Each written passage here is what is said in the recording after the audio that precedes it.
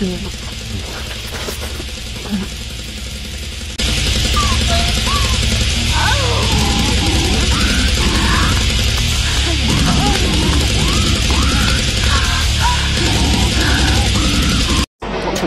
But if we do not prioritize our health, our love, our care for ourselves, then we don't feel good walking around this matrix. And if we don't feel good, we're passing along all that not feeling good energy, right? Someone to us, um, we give them a snooty answer, or maybe we're a little bit more rude.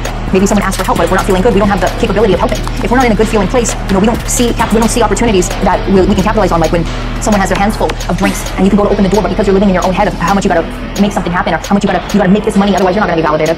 You're not you're nobody, Taurus. You know, if, if you don't have enough money, you're nobody here, right? If you don't have a soulmate, oh well, something's wrong with you, right? Oh, you're you're, you're what age and don't have a family and kids? What's wrong with you, right? That's gonna be the program that we live our life like, and that's so far from the truth. It's an illusion. The only reason why any of us don't have anything that we actually want is because we're not aligning with the vibration of allowing it to come in, and that is being in the receiver mode, and that is the vibration of love. And your only obligation here to receive everything that the universe is aligning you with is because you are not prioritizing your self-love and care. Your outer world is determined by your inner world, and if what's going on up here is not is not, it's not coming from a place of love. It's not coming from a place of joy and spreading joy and spreading love. And if you come from this perspective, then you're going to be falling. Your vibration's going to drop, and then we're going to fall into the um, energies of repeating the past, overthinking, overanalyzing,